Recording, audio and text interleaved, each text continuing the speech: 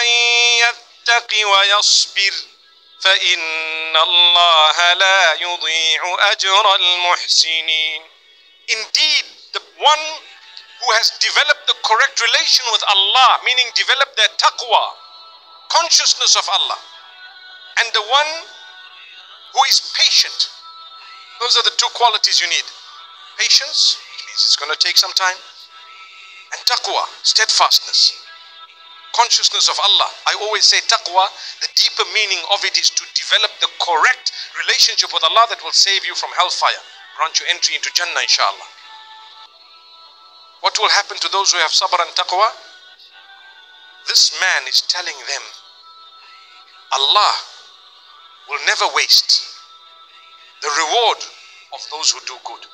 Which means goodness is in those two things, sabr and taqwa. My brothers and sisters, whatever you're going through, sabr, taqwa.